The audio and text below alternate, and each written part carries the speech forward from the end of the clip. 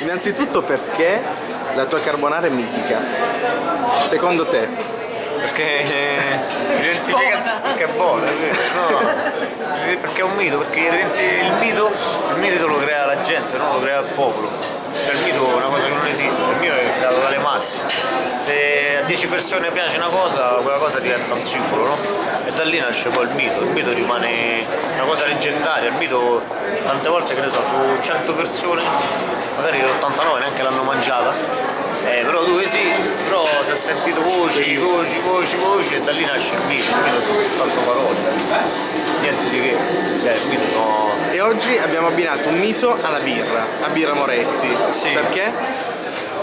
Ma perché? Perché ci sta bene, ci sta bene, tra virgolette è- essendo un piatto preta por te ci vuole una bevanda più semplice e più facile, no? quindi la birra è la cosa perfetta, contiene anidride eh, anidride carbonica, è amara, quindi pulisce, sgrassa il palato, dà continuità, eh, leva il sapido del sale, perfetto. In genere utilizzi la birra in cucina. Sì, io ho un piatto con la birra in casa, però un dolce.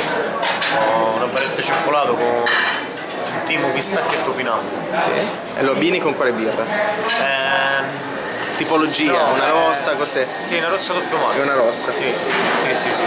sì. E un commento invece alla giornata di oggi, come ti sei trovato, quali feedback hai ricevuto? No, una giornata positivissima, è stato benissimo, tranquillo, ho fatto tutto. Alle otto e mezza.